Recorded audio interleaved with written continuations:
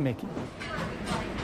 All right, Sheldon, thank you very much. We're at the Flying Biscuit Cafe, and they've already had some biscuits fly out of the oven right now, but we're not actually talking about biscuits today. I'm here with Chef Jeffrey and. Chef Neil back here, and you're making oatmeal, organic oatmeal pancakes We are. with peach compote. Yes, well, it's National Peach Month, and so we wanted to just show people a pancake that we've been doing for just the longest time.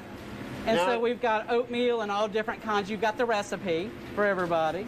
Now, a lot of people like their buttermilk pancakes, but this might be a, a slightly healthier version, right? Um, uh, definitely a healthier version. Okay. Um, it's got, you know, as much flour as it has in it, it has oatmeal, uh-huh. which is going to help. Uh, the only trick with these is they really, the batter is better if it sits for a few hours before you cook it. But So you're that the- making it up fresh this time, aren't you? I am. So uh, does it? Do you cook it on the skillet about the same um, amount of time as you do a regular pancake? No, you're looking at three or four minutes per side on these so that you get them done in the middle. Now, usually with a, uh, a buttermilk pancake, I start to see it bubble up. You know, those Right. little little bubble marks. Yes. And then that's when I know how to turn it. How, how do you know how to turn these suckers? Well, you will see the bubbles. You will see it start to dry out on the outside. Uh-huh. You'll see those same things. Um, it just takes longer to see it. Okay. So what all have you put in there so far? So this is um, organic oatmeal and all-purpose flour, baking powder, sugar, salt, and cinnamon Ooh. with eggs and um, milk. And then we take butter and you melt it and you cool it.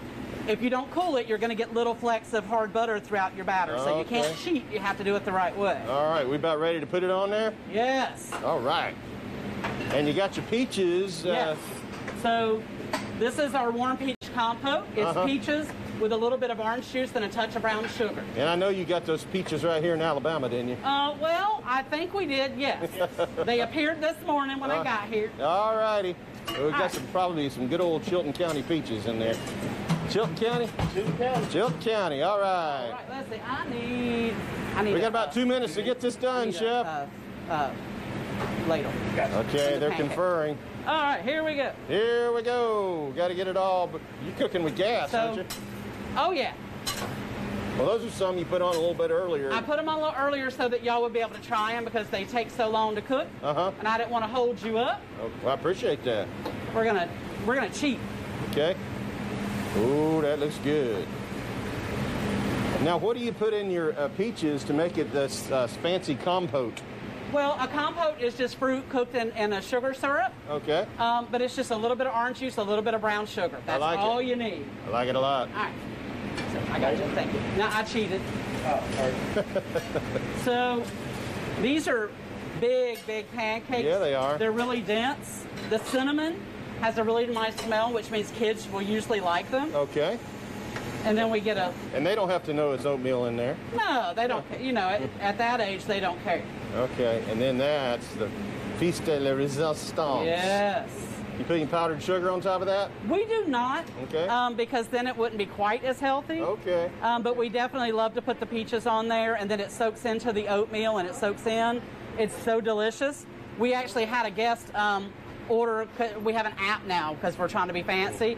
We had a guest order these in the middle of the night to pick up at seven o'clock the next morning. So it's really cool. Chef, I can see you're only missing one thing. What am I missing? A fork.